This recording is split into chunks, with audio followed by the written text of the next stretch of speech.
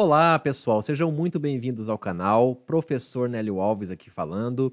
E nesse vídeo, pessoal, nós vamos falar de um tema muito importante que eu recebo muita dúvida de alunos, que é o que estudar para ser um programador ou desenvolvedor. Vamos lá, pessoal. Olha só, Primeira coisa, eu vou falar dos pré-requisitos em termos de disciplinas, tá? Eu não estou falando aqui de pré-requisitos de soft skills, tipo você ser proativo, você ser estudioso, não.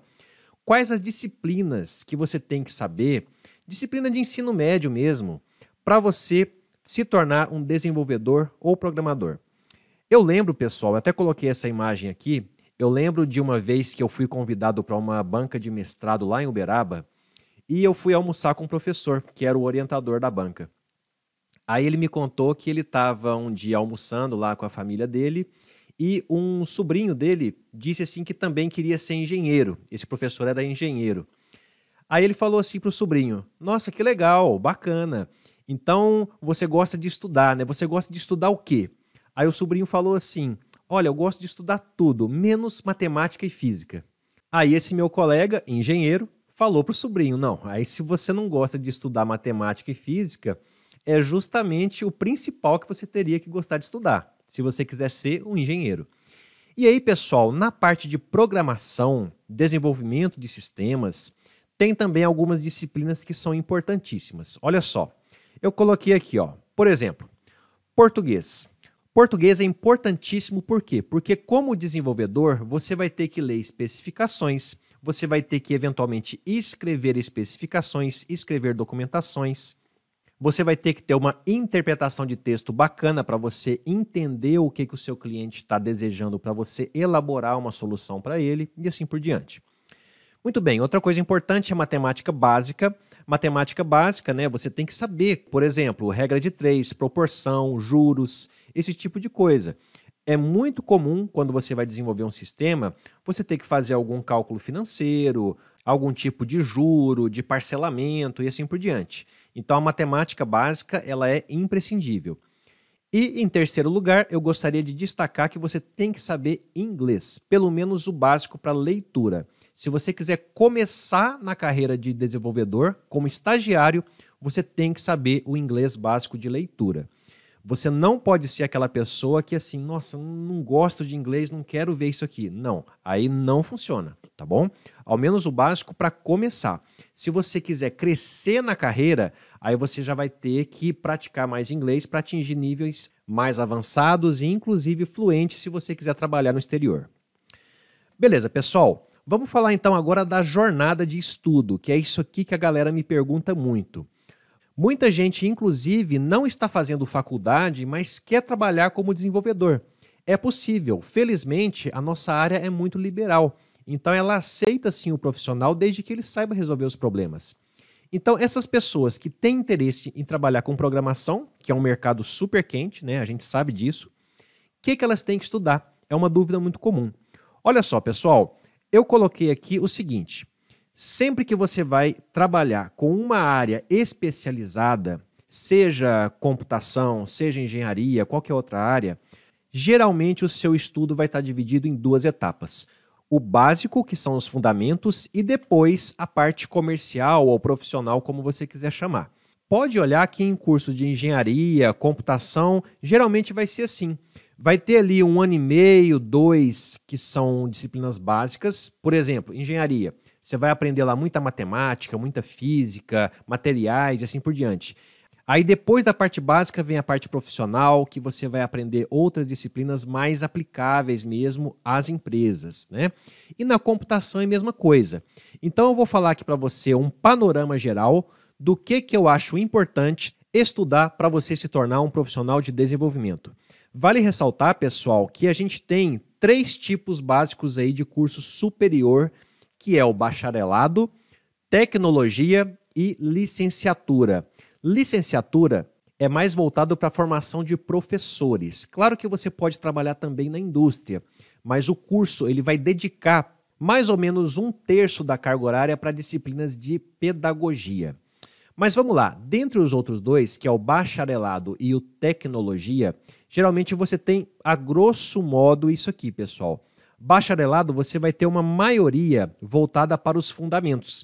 Você vai ter mais disciplinas de matemática, de lógica, de álgebra da computação e assim por diante.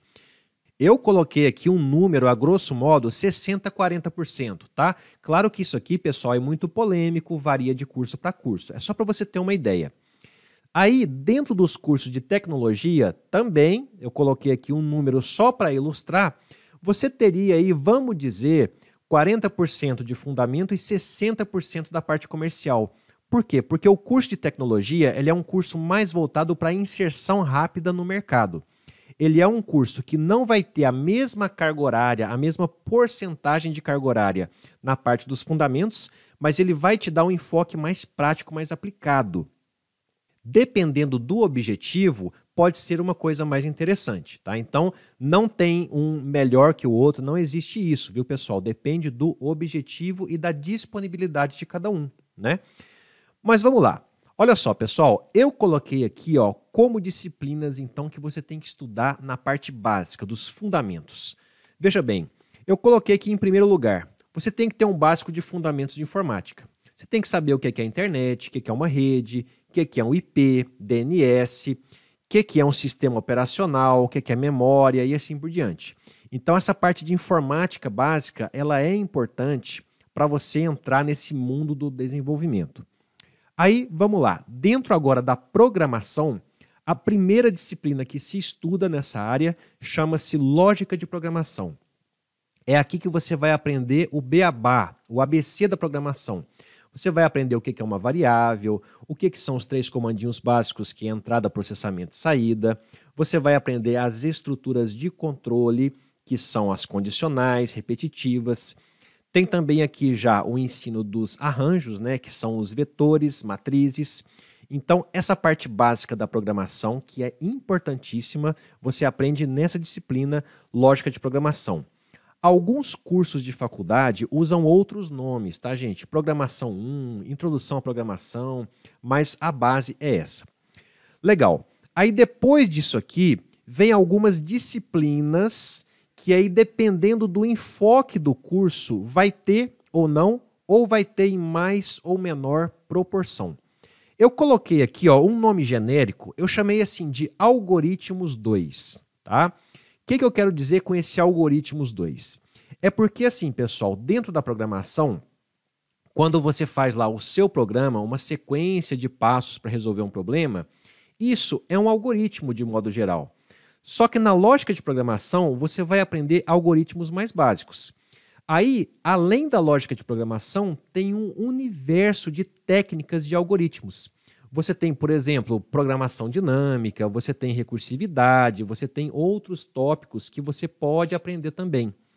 Geralmente, em curso de ciência da computação ou cursos mais de bacharelado mesmo, trabalha mais isso daqui do que nos cursos de tecnologia. Por quê? Porque o curso de tecnologia ele é um curso de formação mais rápida, com uma base um pouco menor nos fundamentos, conforme eu falei. Mas são tópicos muito importantes também. Outra disciplina que eu coloquei aqui é a estrutura de dados.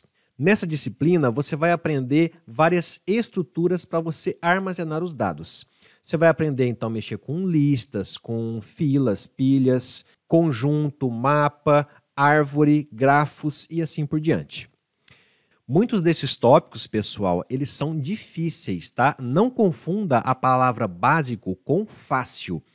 Básico, você está trabalhando os fundamentos da área, mas dentro desses fundamentos você tem tópicos fáceis e difíceis. Por exemplo, dentro da estrutura de dados, que você vai trabalhar lá, por exemplo, com árvores, grafos, que são estruturas mais avançadas, são tópicos difíceis de programação, mas são muito legais.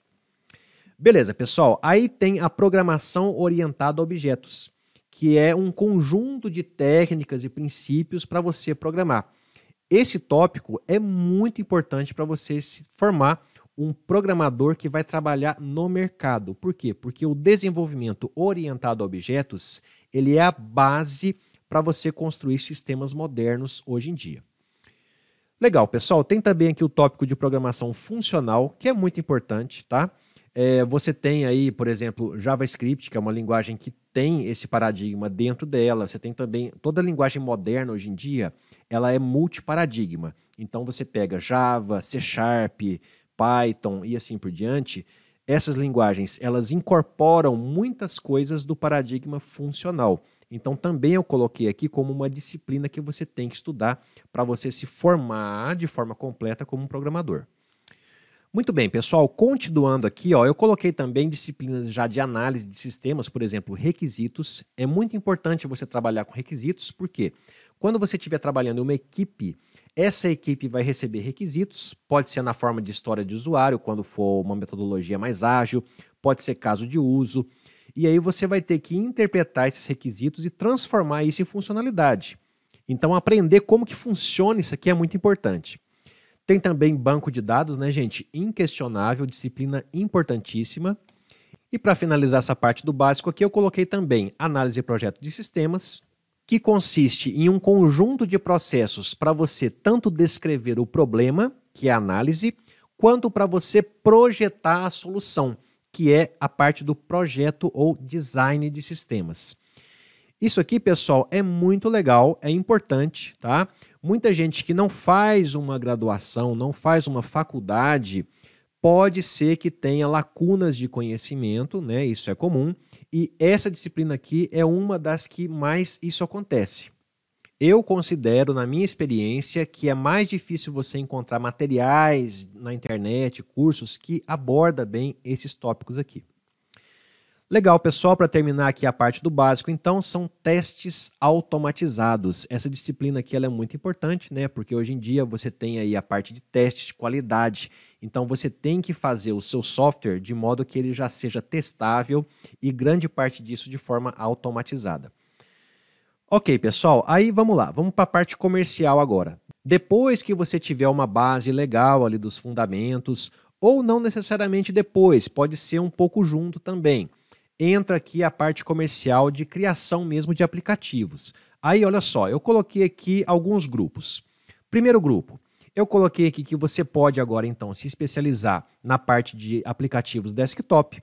Você pode trabalhar também com a parte web MVC. O que, que eu estou chamando aqui de web MVC, pessoal? São aqueles aplicativos que você constrói em uma certa linguagem, por exemplo, linguagem Java, linguagem C Sharp e você usa essa mesma plataforma da linguagem para criar as telas web também. Tá? Então você vai usar aqui, eventualmente, um template engine, um sistema de templates para gerar as telas usando a sua própria linguagem de back-end também. Essa abordagem é uma abordagem alternativa em relação à construção de back-end com web services e front-end com JavaScript, que eu já vou falar disso aqui. Muito bem, pessoal. Então tem aqui também back-end web services. Então você faz lá uma API, né? A gente usa muito isso em web, né? API de web services, API REST, API com SOAP. Você pode também trabalhar com essa parte do back-end que só vai produzir os dados para você e a construção das telas vai ficar de responsabilidade de um front-end feito com JavaScript, que eu já vou falar dele aqui também Beleza, e também você tem aí uma outra área né, específica que é a área de games, que você pode ir para essa área também, dependendo da tecnologia que você quiser. Ok, pessoal, o segundo grupo aqui, ó, eu coloquei mais assim a parte de front-end, mais a parte de aplicativo, de telas, né? Não que o primeiro grupo não entre, né? Porque aqui na parte do desktop e do web MVC, você faz telas também, tá? Eu só criei esse outro grupo aqui porque ele é mais específico dessa área. Olha só. Primeira área aqui é web design. Então você pode ir mais para a área de criar telas web. Aí você vai usar muito HTML e CSS para construir e estilizar essas telas. Tem também a parte de UI UX, né, que é a experiência de usuário, tal, essa parte aí de comunicar bem a sua aplicação, deixar ela com uma usabilidade agradável alinhar a usabilidade com os objetivos de negócio, tudo isso é envolvido aqui nessa área de UI e UX. Legal, aí tem também aqui o front-end web, no caso usando JavaScript. Aí aqui que vai entrar, pessoal, aquilo que eu falei antes. Você pode se especializar na parte da criação do front-end web, que é aquela aplicação que roda no seu navegador. Essas aplicações, elas são programadas na linguagem JavaScript. E aqui, pessoal, fica claro já o conceito de front-end e back-end. Front-end roda no seu navegador. O back-end roda lá no servidor onde a aplicação está hospedada, e aí aquele servidor é que vai comunicar com o banco de dados e assim por diante, trazendo para você a resposta desse processamento. Então, a sua aplicação front-end, feita em JavaScript, que roda no navegador, conversa com o back-end que está lá no servidor. Aqui, pessoal, vale ressaltar né, que dentro do JavaScript você pode usar algum framework JavaScript para criar essas aplicações. Os mais comuns hoje em dia são o Angular, Vue.js e o React. Esses três. Ok, para finalizar aqui essa parte aqui do front-end, né, vamos falar agora do mobile. Então você pode criar aplicações móveis. Eu coloquei aqui Android, Apple e também aplicações híbridas, né? Você pode usar uma ferramenta que gera aplicações para as duas plataformas, Android e Apple, usando um único código. As tecnologias mais utilizadas hoje em dia são o Flutter, o React Native e também algumas outras que correm junto aí, como o Ionic, que eu considero importante também. Legal, pessoal. E aí, para finalizar aqui, nós temos também a parte de microserviços e DevOps, que são assuntos muito importantes hoje em dia. Microserviços é uma área que permite você arquitetar a sua aplicação em várias partes, cada uma especializada em alguma coisa, e aí você vai ter que montar todo um sistema de comunicação e mensageria entre elas.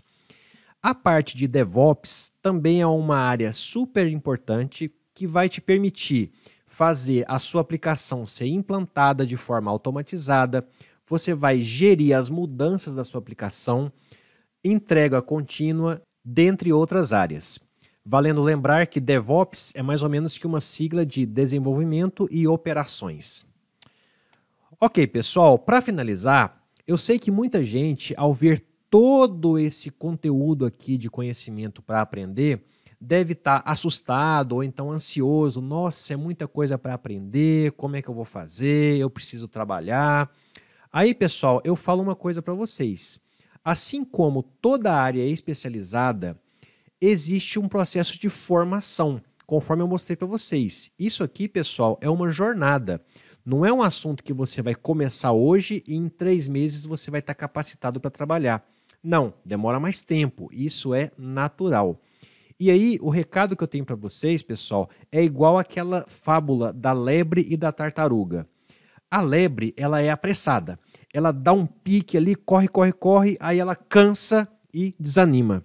A tartaruga não, ela começa devagar, mas ela tem disciplina, ela tem constância no que ela faz. E aí ela chega ao final e vence da lebre. Então, a mensagem é essa: troque a pressa por disciplina e envolvimento. Toda área especializada, você precisa também ter envolvimento com ela. Não adianta você estudar lá assiste uma aula de uma hora e fica toda a semana sem ver nada.